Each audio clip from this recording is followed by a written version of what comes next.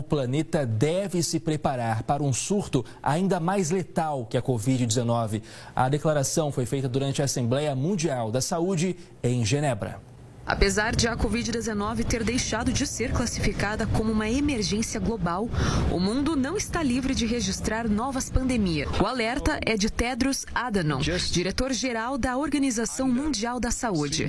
Em discurso na Assembleia Mundial da Saúde, realizada esta semana em Genebra, o líder afirmou que ainda existe o risco de novas variantes da doença surgirem e destacou o possível aparecimento de um patógeno mais letal que o coronavírus. Segundo ele, o planeta deve se preparar o quanto antes para esses cenários. In a world of overlapping and converging crises, em um mundo de crises sobrepostas e convergentes, uma estratégia eficaz para a preparação e resposta a emergências de saúde deve considerar surtos de todos os tipos.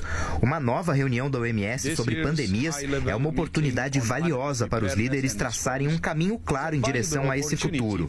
Não podemos deixar isso para depois path forward towards no encontro, Tedros relembrou ainda a atuação da entidade nos últimos 12 meses. Além da Covid-19 e da Mpox, a organização lidou com outras 70 crises de saúde, que incluem o ebola, a cólera e a guerra na Ucrânia. A poliomielite também foi pauta na reunião. A doença continua a ser a única emergência oficial de saúde global.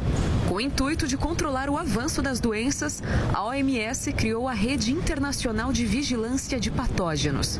A ideia é desenvolver uma plataforma que reúne informações de diferentes países e regiões sobre patologias e tratamentos. Com base nos dados, autoridades da saúde pública poderão rastrear infecções e prevenir novos surtos.